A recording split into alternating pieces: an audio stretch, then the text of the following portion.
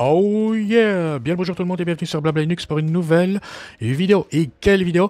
La quatrième et dernière vidéo concernant la nouvelle clé USB de réemploi et Mabuntu. Et si vous avez suivi les vidéos précédentes, vous savez que dans cette dernière vidéo, eh c'est là que l'on va utiliser la nouvelle clé USB de réemploi pour ce qu'elle sait faire de mieux.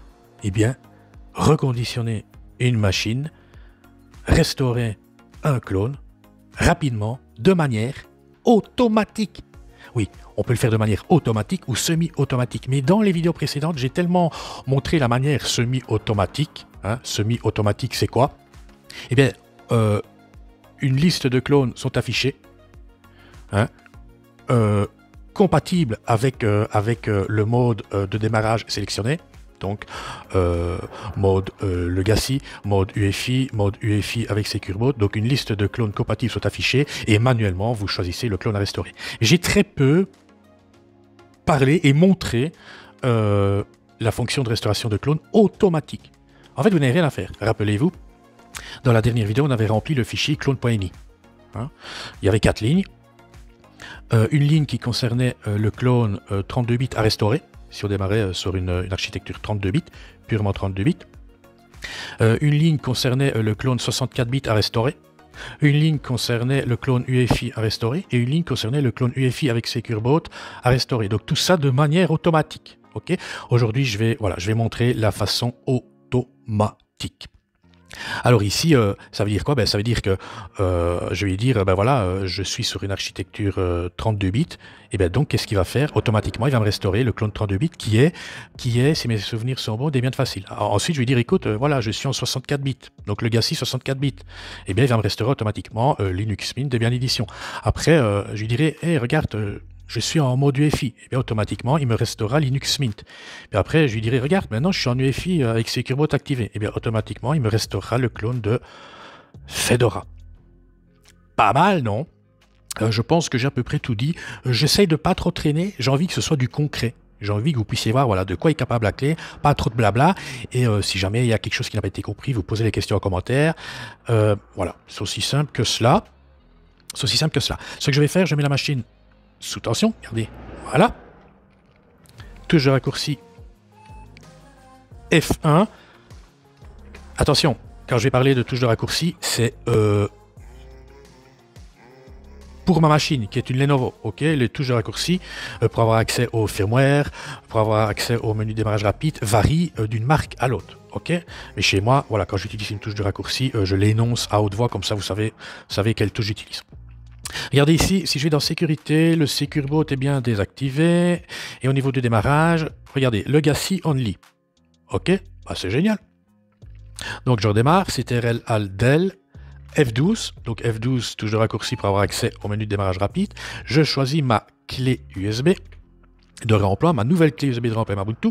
Oh yeah euh, Regardez, on a, on a euh, F5 Tools pour outils tac, vous pouvez appliquer la résolution native.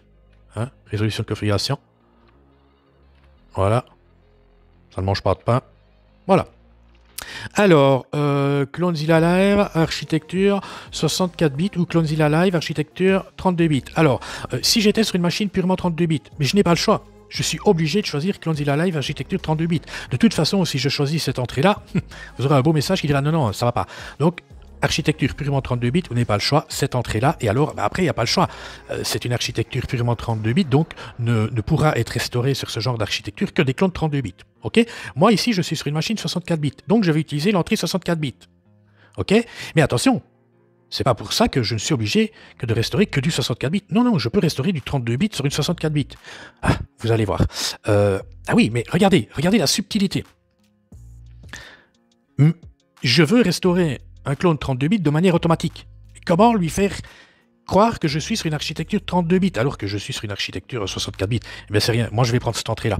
Donc, en fait, sur une machine purement 32 bits, vous n'avez pas le choix. C'est Clone Live 32 bits. Sur une machine 64 bits, donc une architecture 64 bits, eh bien, vous, vous utiliserez cette entrée-là. Sauf si vous voulez restaurer de manière automatique, lui forcer la main, lui faire croire que vous êtes sur une architecture 32 bits. Eh bien voilà, regardez bien. Tac,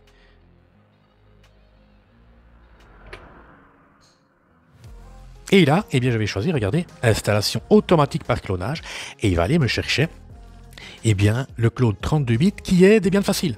Regardez bien. Ça va aller vite, hein. Euh, pour la restauration euh, du clone, on, ne parle que de quelques minutes. Hein. Ici, c'est une clé USB 3 connectée à un port USB 3 et le périphérique de stockage interne à la machine, c'est un SSD, mais attention, un vieux SSD en SATA 2. Hein.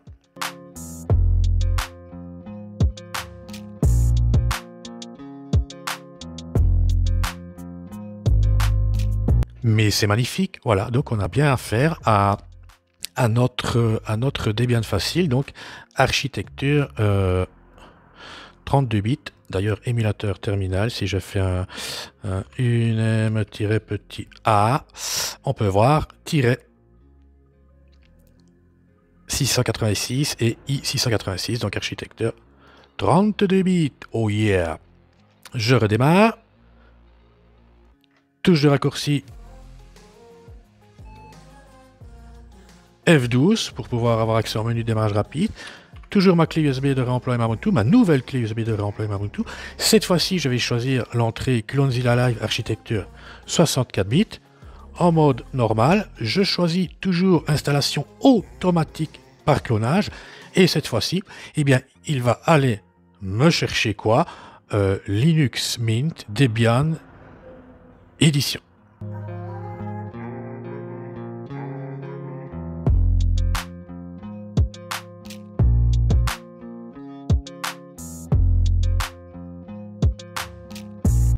Oh yeah, on est bien sur notre Linux Mint Debian édition. Je redémarre cette fois-ci. Touche de raccourci F1. Je vais rentrer dans le firmware de la carte mère. Pourquoi? Parce que cette fois-ci, je ne veux plus démarrer en mode legacy only, mais en mode UEFI only. Je sauvegarde avec F10, touche de raccourci F12 pour avoir accès au menu de démarrage rapide et je ne vois pas ma clé. Ah, ça, ça arrive parfois. Attendez. Je redémarre. Voilà, voyez? Donc là, je choisis ma nouvelle clé USB de remplacement Ubuntu. Vous avez vu le petit message qui est apparu au-dessus? Dans le coin donc euh, supérieur gauche, Secure Disable. Ça, c'est quand on démarre en mode UEFI. D'ailleurs, regardez, regardez en, dans le coin inférieur gauche de l'écran, dans la version de Ventoy 1.0.80 et, et le mode sur lequel on a démarré. Tantôt, c'était mentionné BIOS. Je, ne n'avais pas attiré votre attention dessus. Et ici, regardez, UEFI. Et quand je choisis le mode UEFI, eh bien, il y a un petit message qui nous dit si, euh, euh, brièvement, hein, mais si le Secure est activé ou non. Donc ici, architecture, euh, entrée Clonzilla Live 64 bits, hein, euh, bah, obligé, de toute façon, on est en UEFI. ok?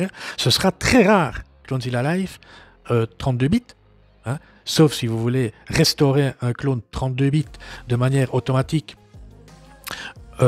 sur une machine 64 bits, comme on l'a fait auparavant. Ou alors, si vous êtes sur une machine exclusivement, purement en 32 bits, mais là, vous n'aurez pas le choix. ok? Donc Clonezilla Live 64 bits, normal mode. Toujours euh, la manière euh, automatique par clonage. Si l'écran vous semble différent, ben, c'est parce qu'il l'est. Euh, l'écran diffère selon que l'on soit en, mode BIOS, donc le GACI, ou en mode UEFI.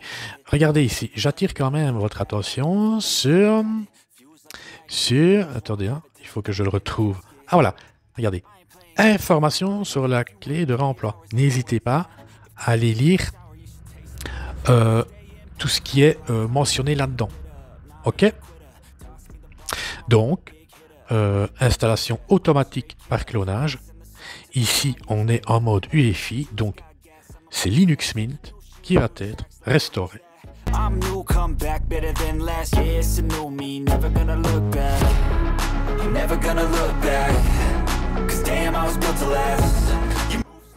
Oh, mais que dire de plus à part que, c'est génial. Bienvenue dans Linux Mint. Alors, maintenant, je redémarre. Touche de raccourci F1. Rentrée de nouveau dans le firmware de la carte mère. Pourquoi? Parce que je suis donc en mode UFI. OK? Mais, mais, je veux maintenant activer le Secure Boot. Yes. OK Donc là, c'est UFI only et plus de support CCSM. CCSM. CSM. Donc, je sauvegarde. F10. Toujours raccourci F12 pour avoir accès au menu de démarrage rapide. Et là, rappelez-vous, nous allons avoir une petite gueulante. Regardez bien. Ah non, pas de petite gueulante. Et là, vous dites, mais de quelle gueulante il parle? Rappelez-vous dans la vidéo précédente, virtuel, je me connecte de nouveau au firmware. J'ai dans le menu UFI USB device qui est apparu. Hop, et là, attention. Oh, problème Problème, security violation. Donc c'est le secure boot. Eh bien, regardez. Ok, pas de souci. Pressez une touche pour continuer. Voilà, je vais donc enrôler euh, la clé. Hein. Voilà, je choisis Vitoy EFI. Je choisis, regardez, c'est pas dur à reconnaître. Euh, ça se termine par .cer pour certificat. Voilà, je continue. Yes, voulez-vous bien enrôler cette clé? Yes. Je redémarre. Je peux mettre la machine à l'arrêt. VM. De nouveau, je me connecte au firmware. Je démarre sur la clé USB et normalement, si j'ai bien, bien fait, eh bien je devrais réellement démarrer sur la clé USB et ne plus avoir le, le message de violation de sécurité. Et oui, on est bon. On avait une petite gueulante qui disait euh, violation security. Euh, il fallait alors à ce moment-là enrôler la clé, un euh, certificat donc de la clé USB pour qu'elle soit reconnue et surtout qu'elle puisse démarrer donc sur l'ordinateur avec le Secure Boot activé. Et là vous dites, ben oui, mais pourquoi ici c'est pas le cas? Ben, Simplement parce que je l'ai déjà fait. Voilà, c'est aussi simple que ça. C'est fait une fois, et voilà, c'est fait. Si maintenant je reformate la clé et je la recrée, euh, nouvelle clé, eh bien, il y aura de nouveau une gueulante, ben voilà, j'enrôle la clé. Ok, ben ici ça a été fait. Ah zut alors. Bon, eh bien, Clonezilla Live, 64 bits. Euh, normal mode. Et là, ben, même chose, hein, installation automatique par clonage. Donc, le firmware étant UEFI, hein, avec SecureBot activé, dans le fichier .ini, qu'est-ce que l'on a précisé euh, lorsque l'on démarrait en UEFI avec SecureBot euh, activé et que l'on donc que l'on restaurait euh, de manière automatique Eh bien, on avait précisé Fedora. On va voir si c'est juste. Hein. Et si vous avez vu précédemment une entrée Fedora dans le dans le dans le comment dans le menu de démarrage rapide, c'est parce que voilà, j'avais fait un test et Fedora a déjà été installé. Donc je triche, je sais que ça va aller. Je sais que ça va aller.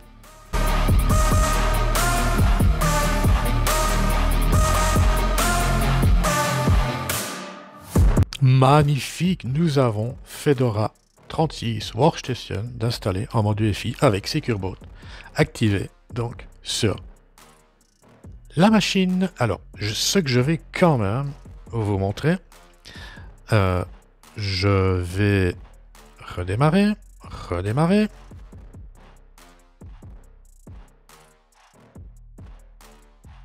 Touche de raccourci F12 pour avoir accès au menu de démarrage rapide. Je choisis donc euh, l'entrée de ma nouvelle clé USB de remplacement Ubuntu. Première entrée, Clonezilla Live architecture 64 bits. Donc euh, normal mode. Et cette fois-ci, je ne vais plus choisir l'entrée donc installation automatique par clonage, mais l'entrée semi-automatique par clonage pour que vous puissiez voir euh, si jamais à, quoi vous allez avoir affaire. Simplement, à une liste de clones compatibles avec le mode dans lequel vous venez de démarrer, donc mode UEFI Secure activé, et là ben, vous choisissez manuellement votre clone. Ok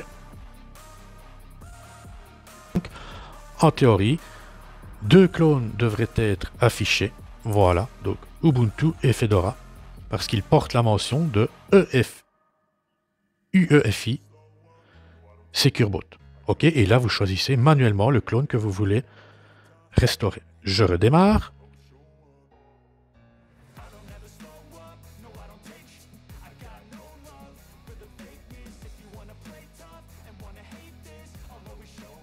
Toujours raccourci F1, je rentre dans le firmware de la carte mère, et cette fois-ci, Security, je désactive le Secure Bot. Ok. Je vérifie. Donc UEFI only. Euh, F10 pour sauvegarder. F12 pour avoir accès au menu de démarrage rapide.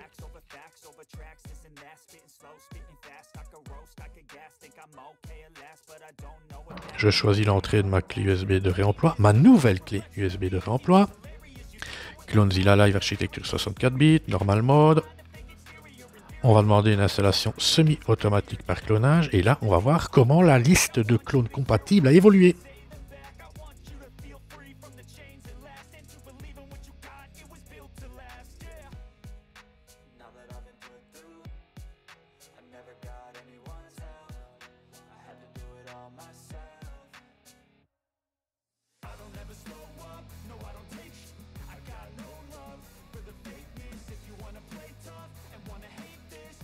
Voilà, trois clones compatibles. Mint, bah oui, c'est un clone type UEFI.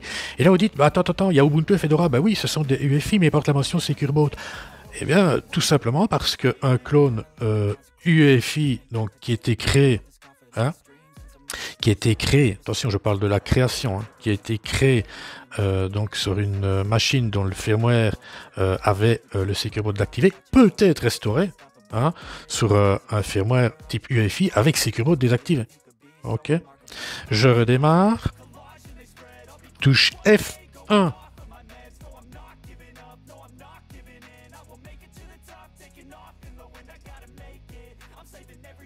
Pour rentrer dans le firmware de la carte mère, je l'aurais déjà dit beaucoup de fois. Cette fois-ci, regardez. Donc toujours Secure euh, désactivé. Hein. Ok. Là, je suis en UEFI, mais je vais dire, écoute, euh, Legacy Only. Ok. Le gars only, F10. Euh, je redémarre. Toujours raccourci F12. Pour avoir accès au menu démarrage rapide, je choisis l'entrée de ma clé, de ma nouvelle clé, pardon, ma nouvelle clé USB de remploi Ubuntu, qui est, qui est ici. Première entrée, Clonzilla Live Architecture 64 bits, normal mode, voilà, installation semi-automatique par clonage. Et là, mais on va voir comment la liste a évolué. On n'a pas une petite idée Moi, j'ai une petite idée.